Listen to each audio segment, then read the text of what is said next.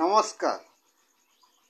আজকে আপনাদের সামনে মেডিসিন রিভিউ পর্বে একটি বাচ্চাদের জন্য মেডিসিন নিয়ে হাজির হয়ে গেছি। যে মেডিসিনটি বাচ্চাদের বমির, গা বমি বমি করা, বমি হচ্ছে, বমির জন্য হান্ড্রেড পারসেন্ট কার্যকারী একটি মেডিসিন নিয়ে আপনাদের সামনে হাজির হয়ে গেছি। এই মেডিসিনটি কোন কোম্পানি, মেডিসিনটির নাম কি, এটি কোথায় পাওয়া যায়, এটি ডোজ কি, সমস্ত কিছু বিস্তারিতভাবে এই ভিডিওর মধ্যে বলা থাকবে। অতএব ভিডিওটি স্কিপ করবেন না, স্কিপ করলে ভিডিওর মূল তথ্য গুরুত্বপূর্ণ টিপস মিস করলে মেডিসিনের কাজ হবে না। বন্ধুরা, আমাদের বাড়িতে সকলেরই ছোট ছোট বাচ্চা আমাদের বাড়িতে আছে। এই বাচ্চাদের যখন ডায়রিয়া, অর্থাৎ পাতলা পায়খানা বমি হয় গ্যাস থেকে বমি হয়। বমি বমি ভাব হচ্ছে, অর্থাৎ বমি হচ্ছে না। কারও বা দশ মিনিট, পাঁচ মিনিট অন্তর অন্তর বাচ্চার বমি হয়ে যাচ্ছে। তখন চিন্তিত বাবা মা, কোথায় নিয়ে যাব? কোন ডাক্তারবাবুর কাছে নিয়ে যাব? ডাক্তারবাবু আছেন কি না? এই সমস্ত চিন্তায় পড়ে যান।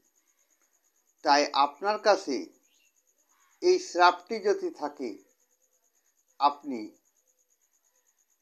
তাড়াতাড়ি যদি এই স্রাবটি খাইয়ে দেন, আপনার বাচ্চা বমি বন্ধ হয়ে যাবে এবং আপনার চিন্তা মুক্ত হবে।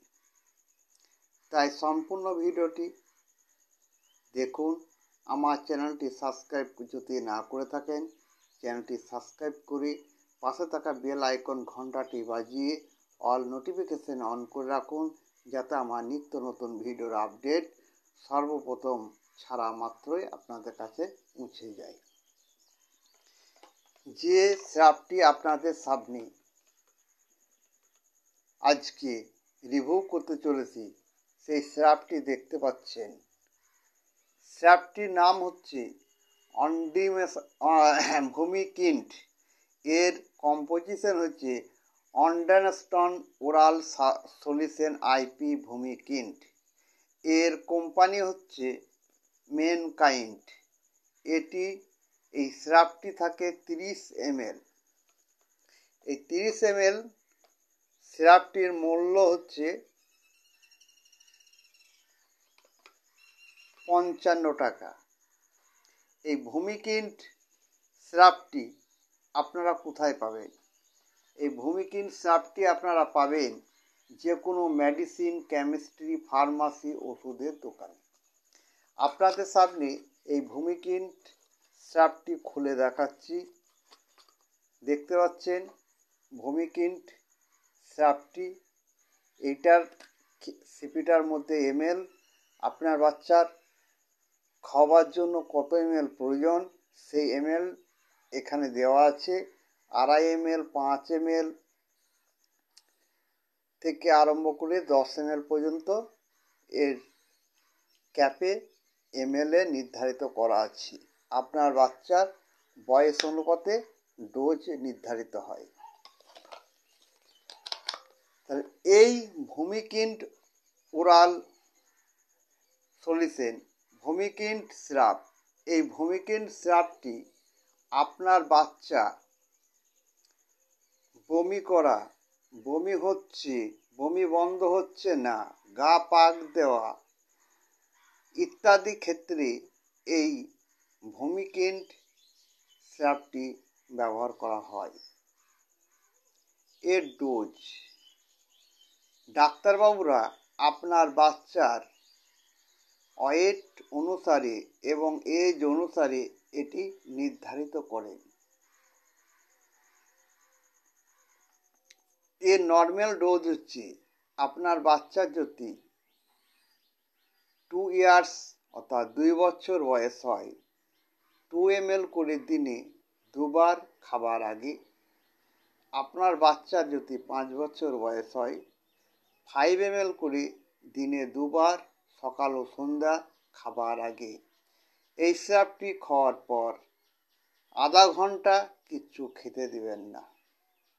আধা ঘণ্টার পর কিছু খাবে। আপনি এই সিরাপটি খাওয়ার আধা ঘণ্টা পর যা কিছু খেতে দেবেন, খাওয়ার পর দেখবেন আপনার বাচ্চা বমি করছে না।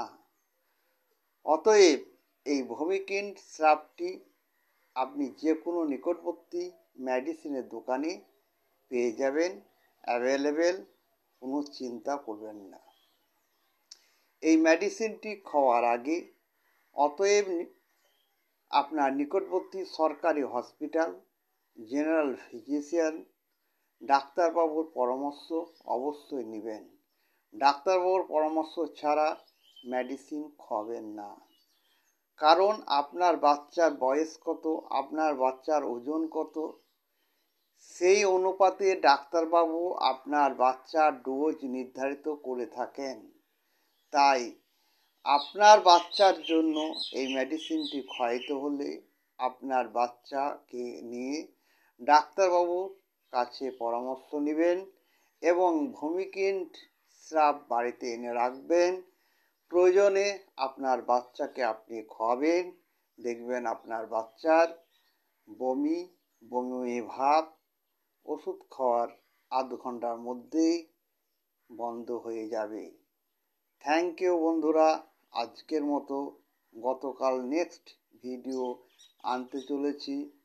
আমার চ্যানেলের সঙ্গে যুক্ত হয়ে থাকুন।